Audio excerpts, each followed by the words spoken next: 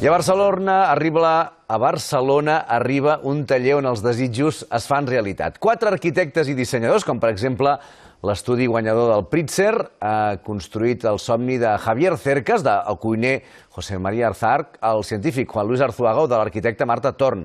Els objectes fets en fusta ecològica dels Estats Units es poden visitar a la Fundació Enric Miralles.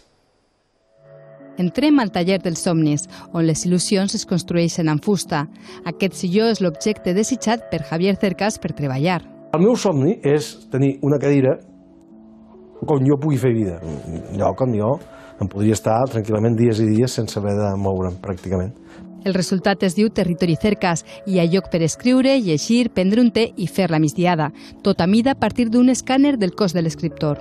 I això ens va permetre, a partir d'aquesta figura en tres dimensions de, del cos de Cercas, poder fer realment el perfil de la cadira que s'amullés perfectament al seu cos. Aquest embolic de fusta és el somni d'Arzac.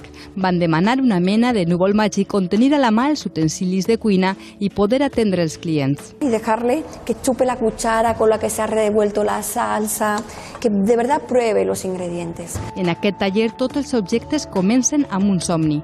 Tienes que soñar todo el rato. La primera parte de la materialización és el sueño. Taules, encares humanes o una cabana per viatjar a llocs llunyans. No hi ha objectes impossibles, només cal somiar.